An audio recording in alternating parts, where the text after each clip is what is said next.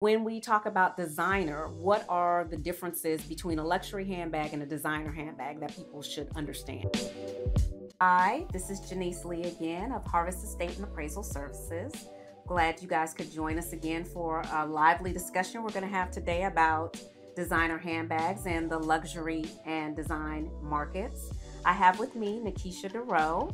Um, Nakachia's going to tell us a little bit about herself, but I have leaned upon her expertise personally and as a consultant to me in some of the appraisals that I've done for clients on damage with designer handbags or stolen luxury items. She was instrumental in providing me an understanding of the variables in the market and information on the different fashion makers to help me complete those appraisal reports for my clients. So, Nakachia, thank you for joining me. Thank you for having me. Um, as Genice said, my name is Nakachia Dorrough. I really got interested in fashion uh, when someone gave me fashion plates as a little girl as a gift. And from there, fashion kind of just stuck with me. I continued my education at the Fashion Institute of Design and Merchandising in California. And from there, I moved to Texas and I continued my education at the University of North Texas for fashion and merchandising. I've also shadowed several stylists in the Dallas area where we have done editorials, fashion shows, been in publications such as Crave magazine, and I've also been working on small projects, um, just giving out fashion advice on trends in the market forecasting. So, what attracted you to luxury and designer brands? I think because it's just it's on a rise. Well, first of all, when you're in fashion school, that's all you learn of high end Chanel, Tom Ford, Valentino. So, you know, you're gonna learn those high end luxury brands um, off top. But I think um, a lot of people around me are into these bags. And that's kind of made me do more research and figure out what the craze and the phenomenon is on high end luxury bags either A, you can go straight to the boutique and you can purchase your handbag. But for those people who might want a bag that might just be gently used, okay, they can go to like a Keeks. I don't know if, how many are in what cities, but you can do that. There's also different consignment shops in your area or online. Uh, Real Real, a lot of people uh, purchase from there based off of their guarantee process. Um, you know, they buy from them. Um, but you definitely do want to be careful because there are a lot of knockoffs, especially online. And the fact that you can't touch or feel and you're purchasing, those are things that you want to be aware of. Yes, and the handbags, just as with um, a lot of objects in the art market, once they begin to gain popularity, there are certain artists that are copied.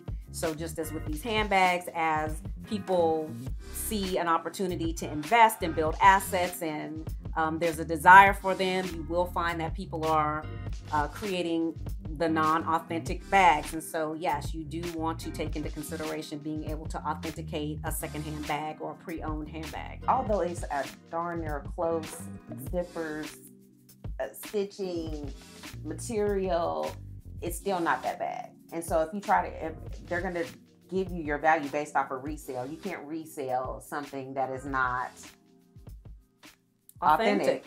authentic. so, you know, be careful at the amounts you pay for knockoffs as well. Is it really worth that amount of money not to get anything on return? Right. Or is it, you know, just through time and patience to save up your money right. and to buy that authentic handbag. That authentic handbag. From that standpoint, that's where that resale comes in. Something that's gently used. You can go and get something maybe that's two seasons old or a collection from three years ago or wherever it may be. Still going to be able to get to resell that handbag if you needed to upgrade to something else versus buying a knockoff and not being able to do anything with it. Going to be what determines the true luxury in the bag. Um, there's designers like Cole Hannon, uh, Tory Burch, Michael Kors. Depending on the level um, of the brand, I would say that those are mid-level. I mean, within certain brands, there's tiers, but I would say that would be more of a mid-level versus a Hermes or a Fendi when I say designer, I guess we can put lump that into like a Cole Hannon or Tory Burch or Michael Kors, Burberry, Dooney and Bourke.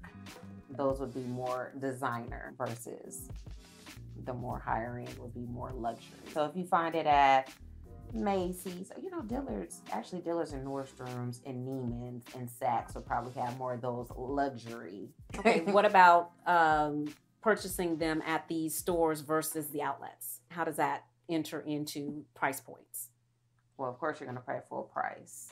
And then at the at the regular store, you might be able to. It's going to be more collection based. What's more current, okay, versus outlet is going to be more previous seasons. Um, some outlets might even have like the slightest defect. They might send it to an outlet, like a stitching could be incorrect, or they could have used the wrong zipper, and they'll send it to an outlet store.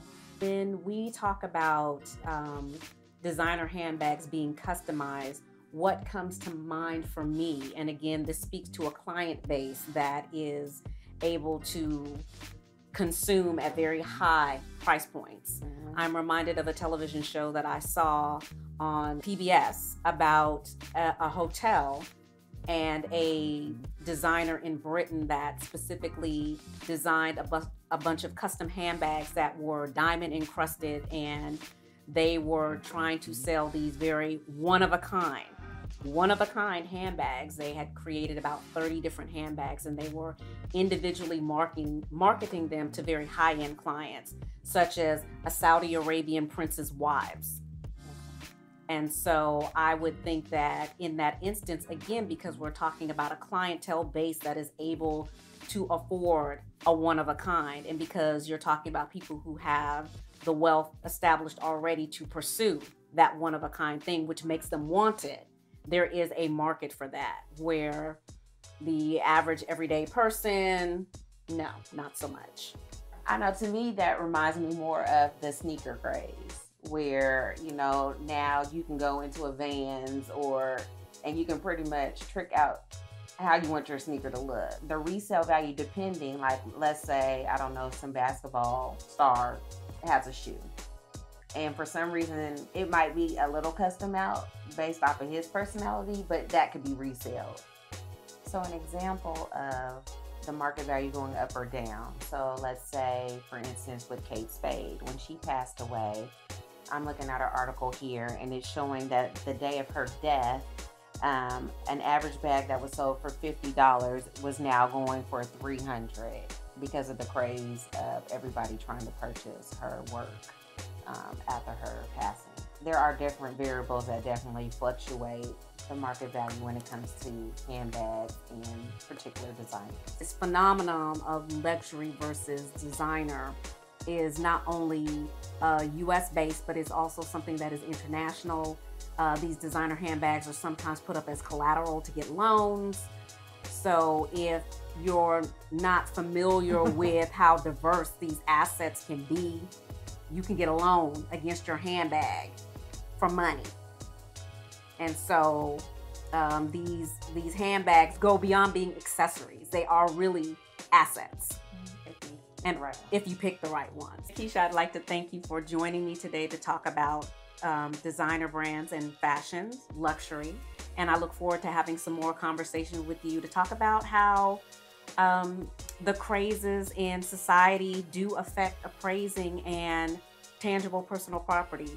I'm looking forward to possibly talking about uh, sneakers with you and getting some feedback from you because, again, we're talking about fashion and how fashion impacts um, asset values. And so I do look forward to having another discussion with you in the future about that. Well, Denise, thanks for having me, and thanks everyone. I look forward to meeting with you again to discuss other luxury items.